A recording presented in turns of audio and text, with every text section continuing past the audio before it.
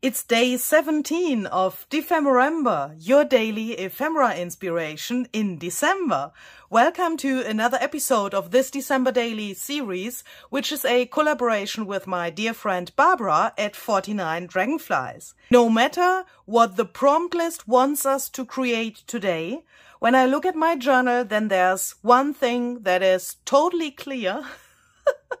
it has to become something that is really, really flat.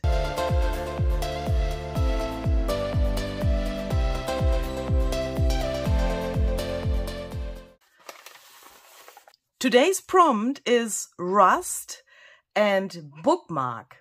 And in our paper bag with the number 17 for day 17 of Dephemerember, we are going to find the animal that we can use today. I mean, and one of our international snacks, of course. The animal for today is the moth and our international snack, Hershey's, Hershey's, I don't know how I have to say this. oh my goodness. Cookies and cream, now more cookies. Okay, that looks really interesting. The color of this, is that chocolate? Uh, I don't know, but uh, that looks really interesting. I have never seen a snack in this color, and this comes from the USA, so we will save that for later. Okay, so let's try to do this. we have to create a bookmark and, uh, you know, um, yesterday I had my medium junk journal life crisis because, yeah, I, it needs no explanation because can you see this? This is just crazy. My journal has become so fat in the last 16 days and now it's day 17 and I know there are some more days coming and I don't know how to manage that to bring the rest of the ephemera into my journal. So we have to create something that is really flat. so I thought there must be bookmarks in this world that are flat. So first I thought we can perhaps create a bookmark out of postage stamps because those are relatively flat. but then I have thrown that idea away because that would perhaps be really difficult and, you know, my nerves are really, really thin at the moment. but speaking about thin, I think we can make another bookmark that is really thin. And I thought about something that is attached to the bookmark, but that later on is outside of the journal. Do you know what I mean? Those things that are outside of the journal can be a little bit thicker. So let's try to make a thin bookmark with something like a decoration that is later on outside of the journal. so we can use the moth for um, today's project as our animal. And if you perhaps are new here and you're thinking, what the heck is she talking about? You can find all of these animal cards as a freebie to download and print at home. And you can also find the prompt list in English and in German. Everything is linked down below this video. You can find all of these things as a freebie so that you can print them out and join Dephemerember with having these things at hand for your own creations. And um, yeah, what you also can have and get as a freebie is this thing here. I've created this thing as a freebie for you and this is the base for my project for today. So this is something that I will turn into a bookmark, a flat bookmark. So I have made this here so that you can print that out at home. The link below, uh, the link below, the link for the freebie is down below in the description box. And um, to create this, there are, of course, different possibilities. I will talk about that in a second. But first of all, we have to cut this out, of course. I have already prepared that. So we have this thing here, this bigger piece. And then on the printable, there are also three of these moths here available. Um, these you can use for different things. I will explain that in a second. Um, but the first thing that we have to prepare is this here to make a bookmark out of that. And there are different possibilities to do that. And I would like to show you some things that you can do with this printable. So the first thing that you could think about is to make some tiny pockets to put some things in. In my case, really, really flat things. perhaps some postage stamps or something like that.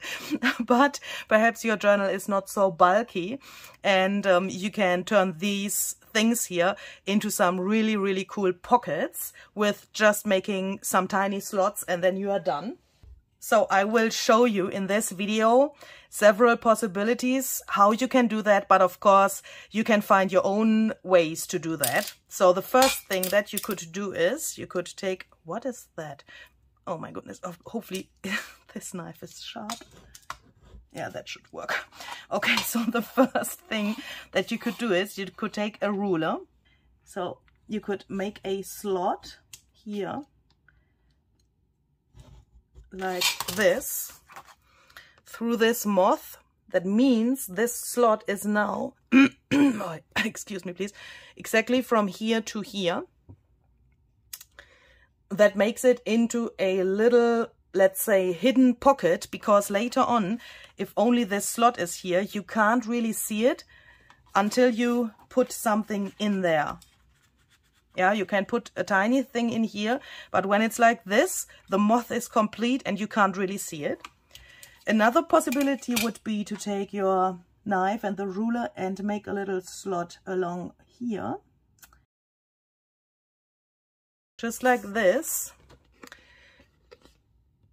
so that you later on can take something and put it in like this. You can, of course, also do a similar thing here. Um, this is going to become the back side of the bookmark later. And you can also turn this area here into a little belly band or two pockets, depending on how you like it. So just make a slot here and here.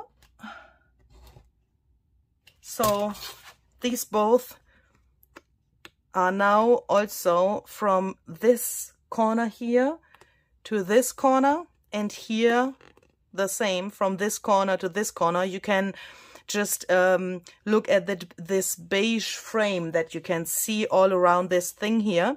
And then you can, um, yeah, orientate on this frame. Or, of course, you could also cut out this whole thing and um, put something behind. You could put an acetate here um, and put some tiny things in like glitter or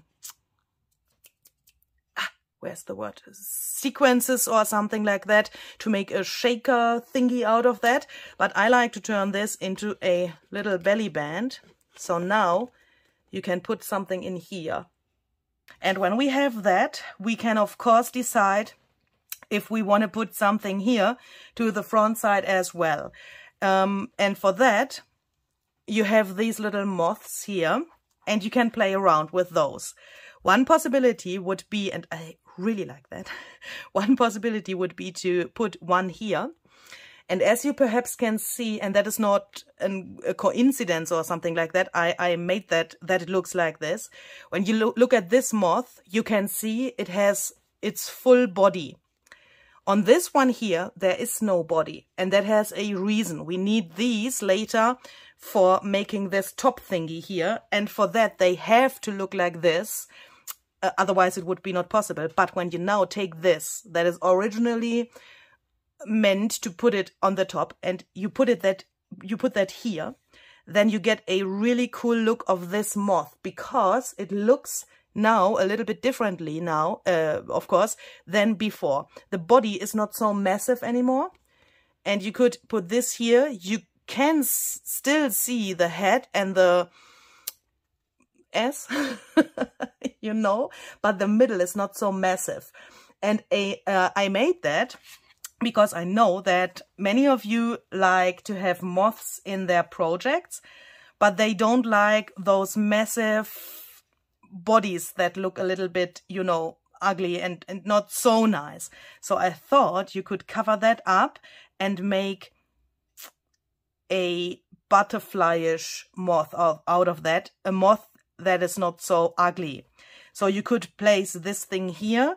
And of course, you can also put the others on top here. They have a little bit different size than, of course, than before, than on the print underneath. But um, with this three-dimensional look, it, it can be really interesting. And for today's project, I think I want to go with this idea here. and put this little guy here on top. And I also want to have a butterfly underneath, but perhaps not this one because this is too big. Um, I'm, I have thought about taking a half butterfly. For example, like this. Hmm. Now when I see it, I don't like it anymore. But that doesn't matter. We have possibilities. I have taken that out before starting the video and then now I think, hmm, perhaps it's not so nice. Let's try only a piece of this. Perhaps only, yeah, only a tiny little bit like this. That is good, but I want to cut off this antenna here, like this. yeah I like that better and now I will also um, distress the back here a little bit because I will glue this down not completely. And uh, I don't want to have this white on the back side. Now it's brown from the back and then we can put that here. Um, so I will first glue down this little wing. Only here in the middle so that it is a little bit dimensional as well. Just like this. And then I will take the moth put my glue here to the middle and only a tiny little bit to the wings. Just like this so that the wings can stand up a little bit. And then I'm gluing that down here. Just like this trying to uh, line that up with the middle of the mm, moth underneath. And I'm just thinking why why haven't I put a little bit of thread underneath? Can someone explain that to me? That is totally weird and that's not Luise Heinzl style. But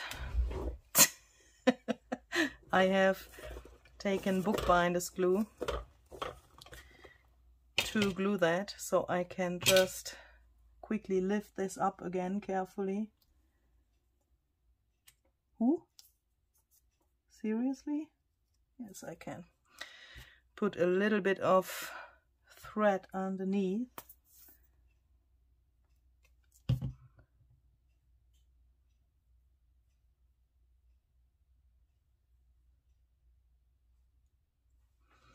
and put this back. Oh, that's perhaps a little bit much thread. Let's just put that here to the bottom so that it's not so massive on the moth itself. So then it looks like this and I'm realizing another thing that I have totally forgotten about. What the heck is going on with me today? I'm so sorry. Whew, I have to say I was not so, uh, I want to put some feelers here. I was uh, not so well the last few days and I had to take some medicine and I think my brain is not not the best today. But I thought I want to go on with Dephemerember and I want to make some videos and I had to craft again because I was laying in my bed for a few days uh, not able to do anything and obviously I'm not totally fit again, but uh, this is what I actually wanted to do. And now uh, we can let this dry and then we can take this whole thing, turn it around and now we are going to fold it exactly in half. So if you print that out, you can see that here, exactly in the middle, there's a tiny white line. Can you see that here? And that is exactly the line where you want to fold this. If you have made the slots, be a little bit careful so that you get the fold exactly in the right place here. And as a little help, you can also line up the both moths that, that you have here on top so that they are exactly on top of each other because that is necessary to make this whole thing work in the end. And then you can just fold the whole thing together. And then it looks like this from the one side and like this from the other side. And now, um, depending on the bulk that you already have in your journal, you can decide if you want to put something in between of those layers here. And that also, um, this decision, of course, also depends on how many slots you have made for pockets. I will show you what I have done in the German video. There I have made no pockets. So here is nothing, no slot, no pocket, no possibility to put something in. Also here, I've left it as it was. Here is no pocket. The same for the back side. It's paper. Yeah, I have made no slots. But I have put some fabric and lace in between of the both layers before I've sewn them together. So that means you could do that here as well. But if you have the slots, you have to take something for here that is really slim so that you don't come over these little openings here. Otherwise, you would glue your pocket together and that's not what you want. So um, I would like to put a little bit of something only here. Because here when you look to the inside we have a lot of space. We could put something in here. And here on the um, opposite side there's also nothing. So we can do that without any problems. And for that I want to use a piece of this thing here that is just some um, fabric with coffee and I guess some distress thingies like sprays and that stuff and then I have, ah, come on, this stuff here. Uh, that is something that Barbara has sent with the journal. So I will put that in here, but that's too much. I can save a, a lot of this material. That doesn't have to be um, too much of that. It can only be a little scrap or something what you have left over. And I really like to use those materials for such things because, yeah, then you can use them up and it looks cool at the same time. Um, and what I also want to do is I want to take some of my white thread. It's the same that I've used here on the moth or below the moth. And I want to crumble that up a little bit. And then I will put that in here just to bring a connection uh, here to, to this area. And when I have that in there, I will go to my sewing machine and I will just sew around the whole thing. So here I'm back. Then this thing looks like this and I really like um, this black contrast that comes with using the black thread. I, I really like black and white together here and I think it fits it fits also really well because of this black clip here and now, let's think first about the rust, because on our prompt list, there's also rust for today. I want to give you some different ideas on how you can do that, and then I will show you how I will do it today. So the first thing that you could do is, and that's what I've done in the German video, you could use some grit paste or other texture paste. Just put that here to the corners or, or the, the edges of the bookmark. And here I have um, used some grit paste, translucent, And then I have colored that with some distress crayons and smeared that around with my finger. And then I've used some gilding wax, this one here. Ooh, that's really close, sorry. And that makes some kind of a patina. It's not this orangey rust, but I think this is rust as well. and the contrast with the turquoise and this orange of the moths, I think is really, really great.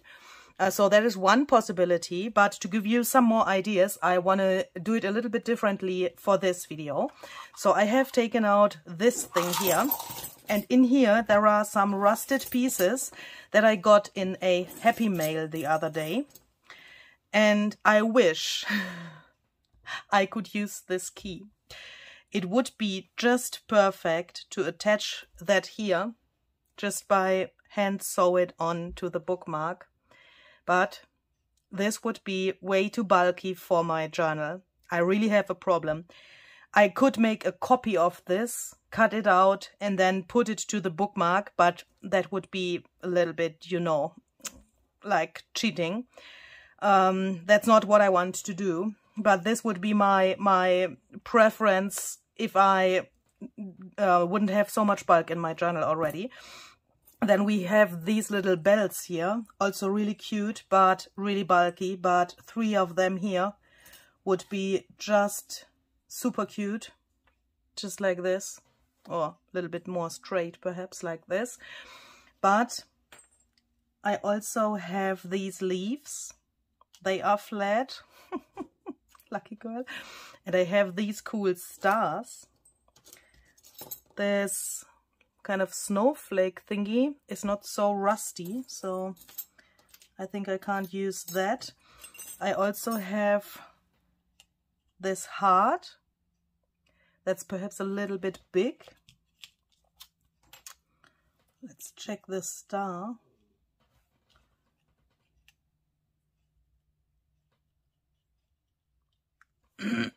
that's really cute.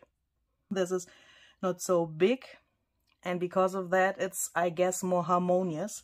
So I will just take some glue. Ooh, my goodness. And glue this here. And what I also really like for rust is crackle paste. Of course not in its white color but we can change that up a little bit after applying that and letting that dry.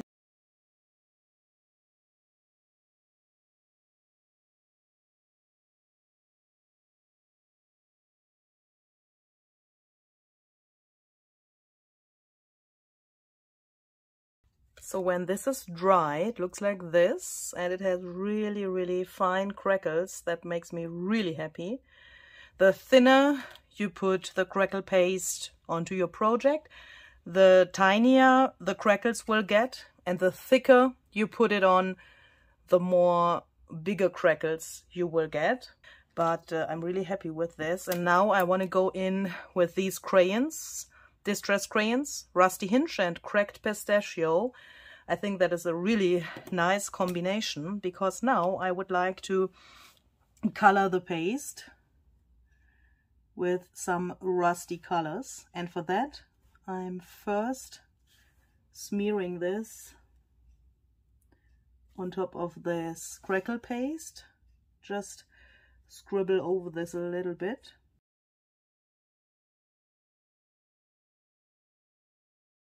When we have that, we can just go over that with our finger.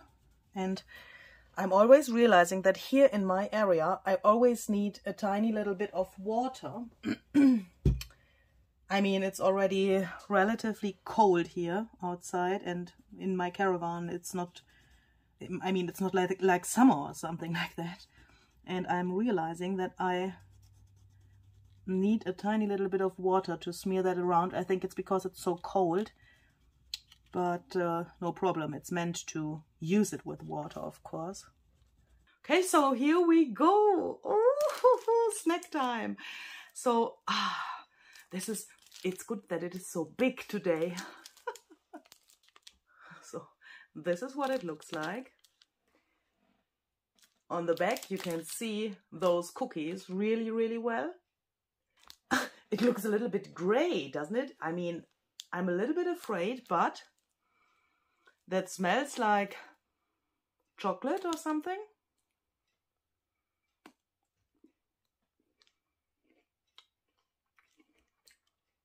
Mmm. Mmm. Oh.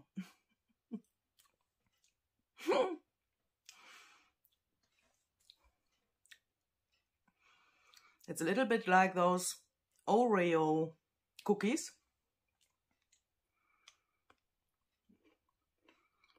Really crispy. And that white stuff, it's a little bit like white chocolate, but more creamy. I think normally it's meant to break that into those pieces. I mean, I would never eat a chocolate in this way, just take those bites from the whole bar without Dephemerember. I mean, only, I think that, that is the only time in the year that it is allowed to eat something like this that looks like chocolate like this without breaking it into those pieces. no junk journal police, no snack police here. And no friends or other people in front of the window, so I don't have to share. Why not eating it like this? It's really, really good. I would say 9 out of 10. Yeah. So when this is dry, it looks like this.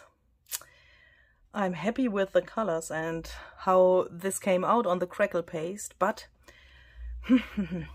it could be a little bit more brownish uh, when we look at this whole arrangement. Then we have a lot of this reddish brown here and also this rusty star is of course not totally orange. I mean, rust is always a little bit brown, isn't it? So I thought I'm taking out some coffee. This is just some regular coffee powder. I mean, this stuff that you mix with water and then you have something that tastes and smells similar to coffee.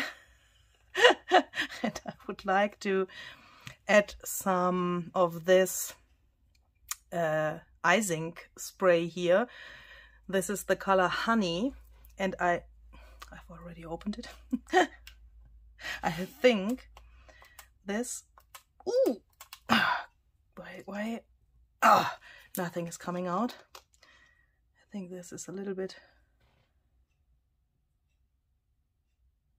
uh, I think I haven't cleaned this spray thingy, but we can also do it like this. Um, this color is really gorgeous, but it's really orange as well. And I thought perhaps we can mix that with the coffee to make it a little bit more brownish. And I want to put some of that here to the edges. And this gives the whole thing also some kind of a frame.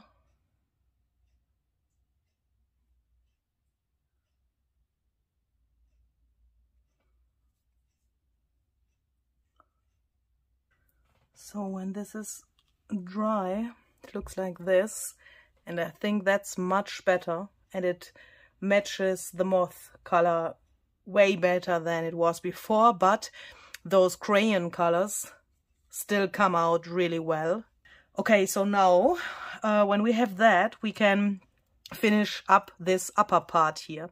This little moth here shall later on be shown um, from the outside of the journal. So this will peek out. Yay. you know, we need things that are outside of the journal because, uh, yeah, then it's not so thick. so I I will just take off the, some of this stuff just because I have it here um, to cover this white area here. And when this is dry, looks like this. And now we can play around with this upper part here of this bookmark. So um, here you can get really creative and you can also use up some of your fabric scraps or paper scraps or whatever you have because now we can fill this area a little bit. So I want to take some of the same material that I've already used here. This is also some of the stuff that Barbara has sent to me.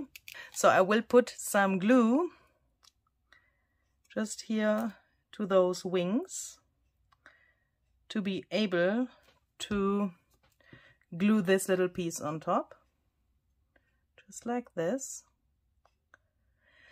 uh, and here um, please make sure that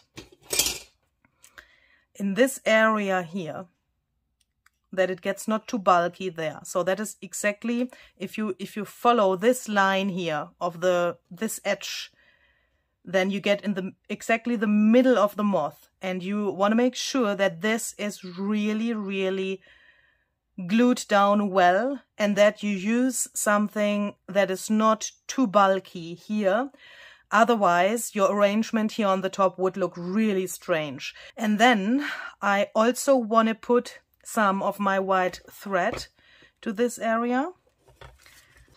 And then I want to use this half die cut butterfly. I've used a half one here as well and I want to put another one here on top. Uh, I just try to decide if I want to have the same like I've used there. hmm.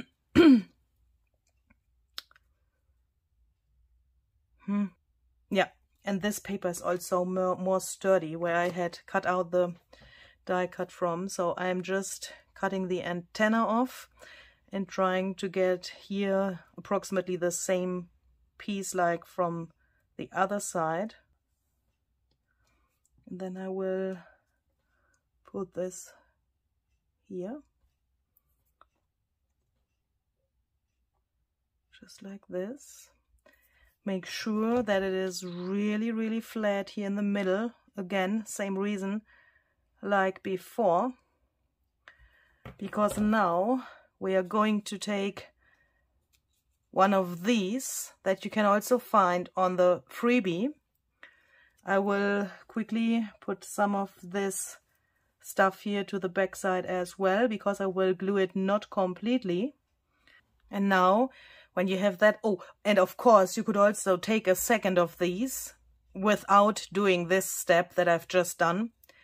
And you could just glue that on top of each other so that you have both sides like this. If you perhaps don't like such a brownish backside of this, you could also put two on top of each other or what you also could do, of course, is make both brown. I mean, why not doing that? Let's do that. Then I can show it better.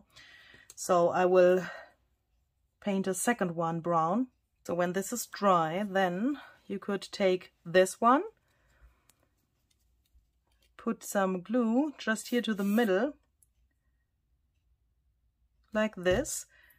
Take this one and put uh, the brown side like this, glue them together in the middle. And now the glue, of course, is only in the middle and the wings will go apart from each other later.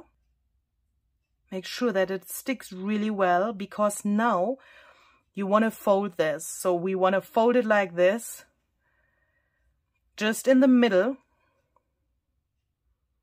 like this. Then you can open it up again so that you have a really nice fold there in the middle. Then it's easier to glue down to this piece. And now we are going to take this. Then you can lift up this a little bit. So how can I show that? Normally it's like this. And now you take your fingers and you just press a tiny little bit so that it goes into this angle. Then it's easier to glue. Then you take some more glue and put that also only here to the middle.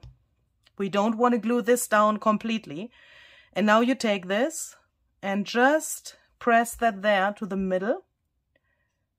Oh, the antennas, Luise. We need antennas. I'm so sorry. Ah! Don't forget the antennas. We are going to take antennas. Of course, that's optional, but I really like to have them there.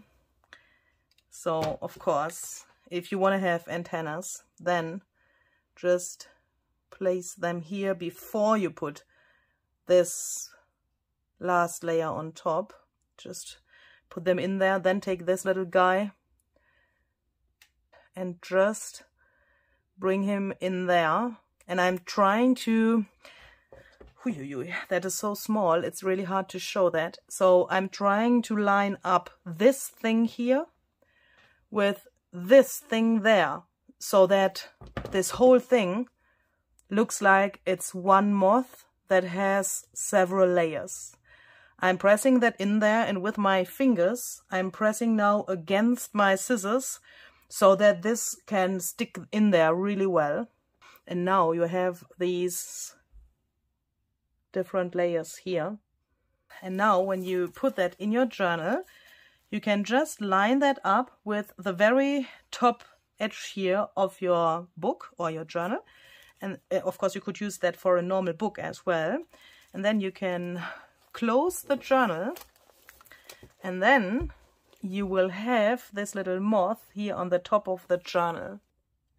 And makes no bulk to your page. It looks really cute and yeah, it's just sitting there. I thought this is a really, really cute idea. And of course, you could change this idea in several different ways. I mean, you could say, I don't need a bookmark for my journal because I know my journal really well and I don't have to mark a page. Yeah, so you could also just take that and find the right position and then glue it down. For example, like you would glue down a belly band. Just make some glue here and here, glue that down and you would have a belly band where you can put something behind. Or you could glue it here and here and here to make a little pocket, side-loaded pocket. But uh, then please don't put too much effort into the back side. You don't need to make these little slots then if you want to turn it into a pocket or a belly band or a tuck spot or whatever because then you wouldn't need this here on the back yeah? So that would be would make no sense to put that um, to the back if you want to glue it down. But I just want to give you some options. And when you have that here of course now we can decide um, to make a little background perhaps mm, because uh, in my case, I will leave this bookmark exactly here in my journal. I will not put it into other places because this is my ephemera idea junk journal and every ephemera has a page so that I also have the possibility later to make some notes about what I have done here.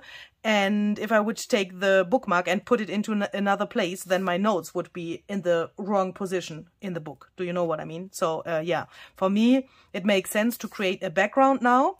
Uh, but if you don't want that, yeah, you can also skip that, of course. And we want to find something that we can put into these little pockets, of course, so that you can see how that would look if they are filled up.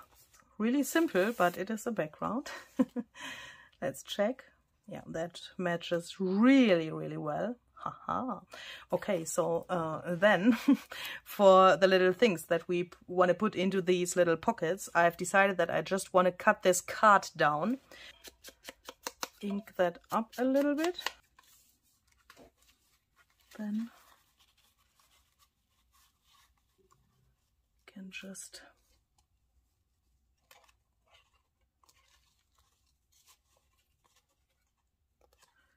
put that in there. And I will do the same thing here for this bottom pocket. And this thing I want to turn into a little tag. So I'm just cutting the corners off. Then putting a little hole here. Ink that up. Then it looks like this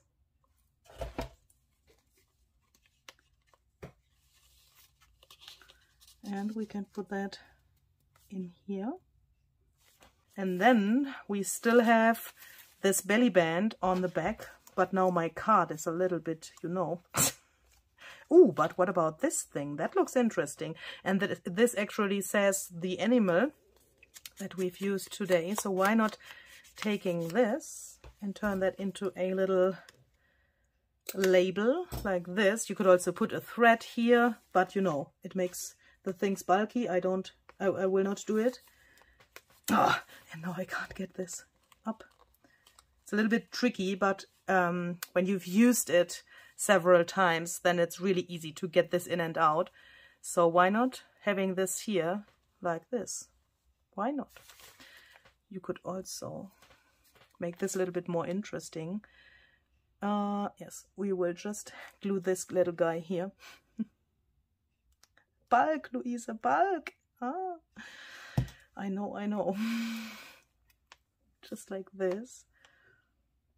And this way, mm, if you have something that is perhaps really thin and a little bit slippery, then when you glue this thing there, and the glue is dry, of course, and it goes like this, it can't fall out. So belly bands in this direction sometimes are a little bit some kind of a diva. Yesterday, I realized that Barbara says in those cases, this belly band is a diva. I would normally say the belly band is a bitch, but that's the difference between 49 Dragonflies and Luise Heinzl. I'm only kidding. But you know, this could be a problem because um, especially tiny things could fall out here. But if you glue the moth here, then this little wing will stop the thing from falling out. Yeah, little trick. Okay, when we have that, we can just ask ourselves, where are the antennas? Luise? Sorry, but... Huh? Uh, we still have this little guy. Shall we perhaps put him here to cover this ugly stuff up? Or here perhaps? Oh, that would look great.